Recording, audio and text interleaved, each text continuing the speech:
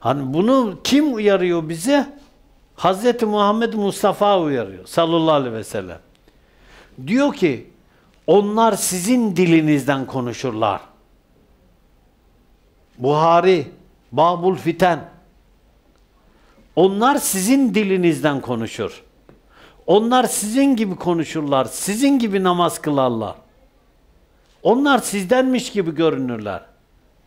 Zamanın bu çağın firavunları bizden görünüyor. Bizim yanı başımızda duruyor. Zamanın çağın nemrutları ümmetin içerisinde dolaşıyor. Ümmetle beraber hareket ediyormuş gibi davranıyor. Ümmetin faydasınaymış gibi görünüyor.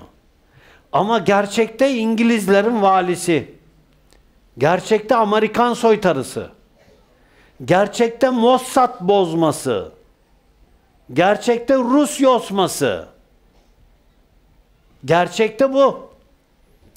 Gerçekte küfür ehli, hadisleri inkar ediyor. Gerçekte fasığın önde gideni, bütün mezhepleri inkar ediyor. Ama bizim dilimizden konuşuyor.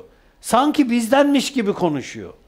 Günün firavunları, nemrutları, Ebu Cehilleri bizdenmiş gibi konuşuyor. Sarhoş bizi aldatmıyor. Sarhoş bizi kandırmıyor. Ben bazen sohbetlerde sarhoşların gözünün yağını yiyeyim diyorum ya. Kızıyorlar bana. Sarhoş bizi aldatmıyor. Bizi aldatan sakallı. Bizi aldatan cübbeli. Bizi aldatan Müslüman görünümlü münafıklar.